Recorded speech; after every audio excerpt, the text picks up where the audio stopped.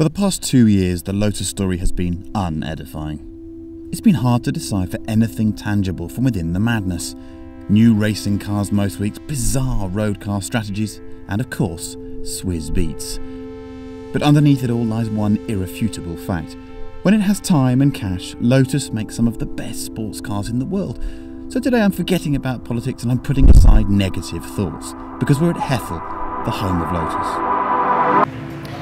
This is the new Lotus Exige S, and it might just be the best Lotus road car ever made.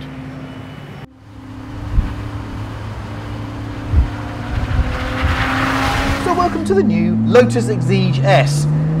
I'm really glad to be driving this car. What we have basically is an Exige with a different back end on it, a new subframe out back, a new rear suspension, a very modified chassis, a modified body, and an Evora S powertrain in it, which is the supercharged Toyota motor. So, 350 horsepower, 295 foot-pounds of torque, and the car weighs 1176 kilograms. Bit porky for something with an Exige badge on it, but don't forget a GT3 RS 4 litre is 200 kilograms heavier, so it's still a lightweight vehicle. What you need to know is this car is fantastic. At last, we have something tangible from the new Lotus.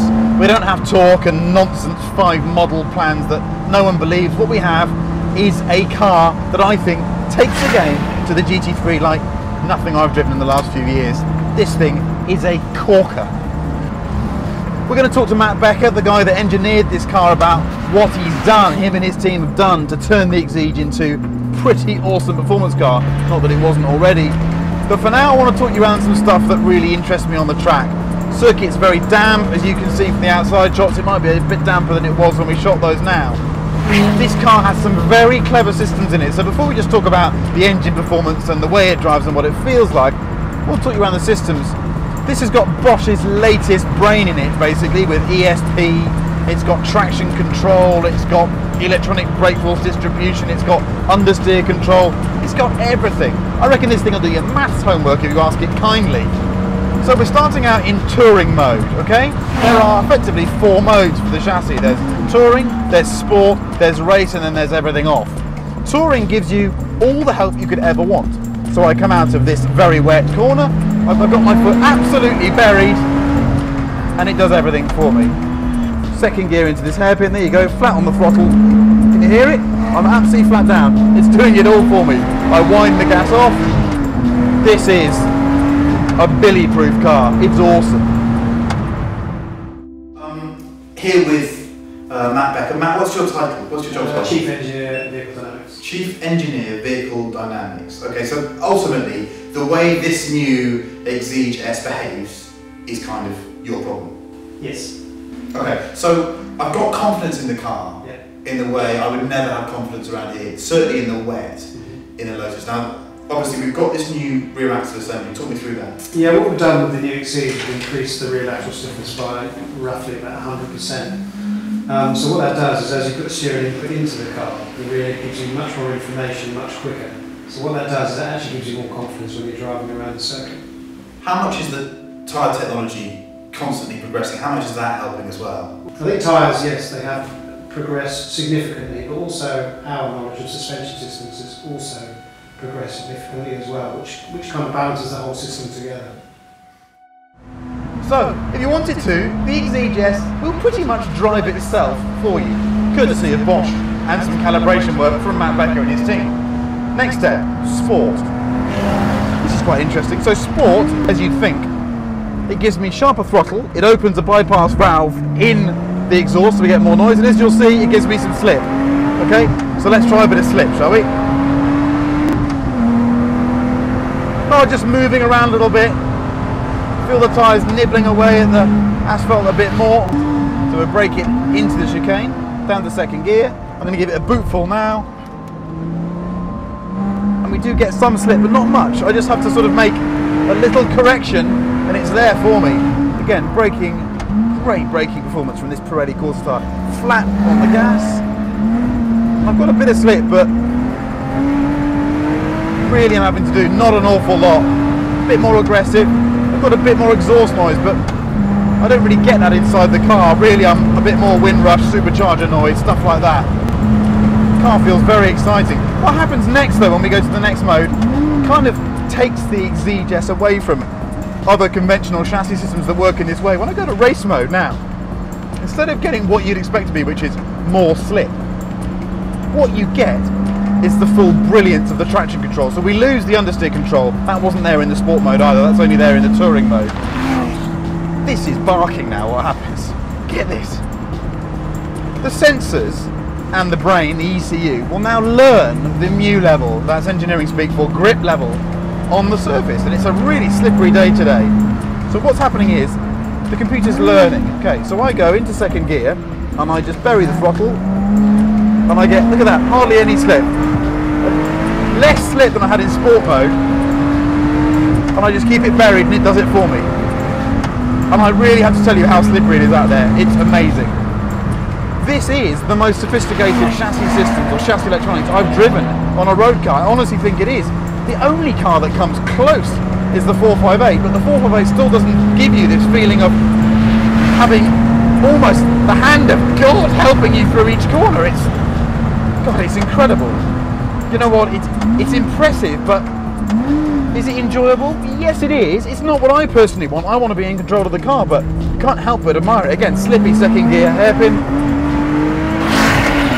You can hear the torque being cut, can't you? Again, I'm going to come into this corner wide open. I'm absolutely wide open now. It's just I have to make a few alterations, but otherwise, doing it for me.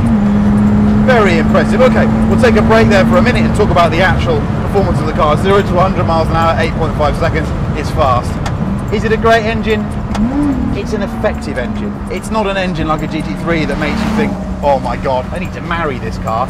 It gets the job done. It revs really hard to about six and a half and then gets a bit breathless. It's got loads of torque though, and on the road I'm sure that's very, very helpful. Steering, beautiful. They've made some big alterations to the steering, and I just think this car steers beautifully. It's geared just the way your brain thinks the car wants to go through the corner. It's just right. Just right.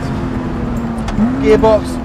Lotus always struggle with gear changes because obviously you've just got a cable going back to the back of the car. This one, again, for them, as good as I felt from them, as a performance car package, is mighty impressive. Mark my words, at the end of the year when the magazines start doing all their car of the year tests, this thing is going to be right up there with the very best of them. It's still quite a small car, isn't it, inside? Um, how do you think, I mean, in performance terms, it's, it's right up there with the GT3, isn't it? It's a fast car. Yeah. How do you think someone that's being in a GT3 is going to respond to having such a small cabin, lack of luggage space, that sort of stuff? I mean, do you think that the, just the just the dynamic capabilities of the car is going to be enough to impress them? I personally feel it probably is. I think it is because I mean, you, you know, you obviously have driven and you've owned GT3s as well. I mean, to drive a GT3, I think you need to be a more experienced driver. This car gives you all the information you need. It's a very easy car to drive quickly. It doesn't scare you. It just rewards you. We think what 750 is possible at the ring, maybe. I think around that number, yeah, somebody who's braver than me, maybe yourself. We've got to have a go, haven't we? Yeah, exactly. I'd You have a organise go. it, we'll go- I'll go. Um, so you've sold 332 of these. I think you could sell more. And, and I'll leave this with you. You know, at the end of the year when you do the sort of magazine, who's going to be the best tests? I think that's in with the strongest shout for Lotus in a long time. Would you agree? I hope so, yeah. Would you think I was mad if I said it's the best Lotus I've ever driven? Uh, no, not at all. Well, what's better? I can't think of a car that's better than that that you've done. Well done, mate. Thank you. I just can't remember the last time I drove a car at Hethel and I felt so secure in these conditions. If I'd been driving a Series 1 Exige now, I'd have had about four or five proper gusset eating moments. But I'm not in this because it's just helping me so much. Still has an open differential. I suppose my only gripe is that in the wet now, I think it needs a little bit of locking assistance because they've got so much more support on the back axle now with the rear roll bar that it could just do with being able to get a little bit more traction when you're coming out in second gear. But I'm splitting hairs. This is a great car. Really feels alive underneath you and yet helps you. And the last chassis mode, well, that's to turn everything off. And then you could argue this thing does come alive one further stage.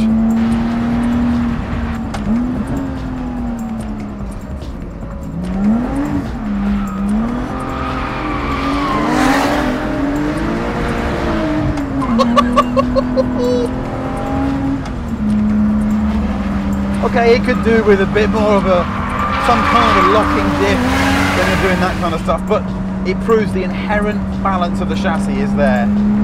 Car feels supple, feels balanced, just feels, yeah, very, very talented.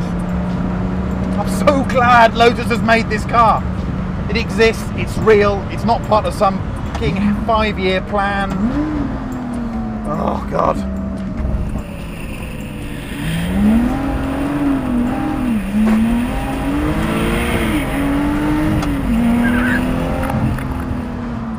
You gotta love it. Thank you.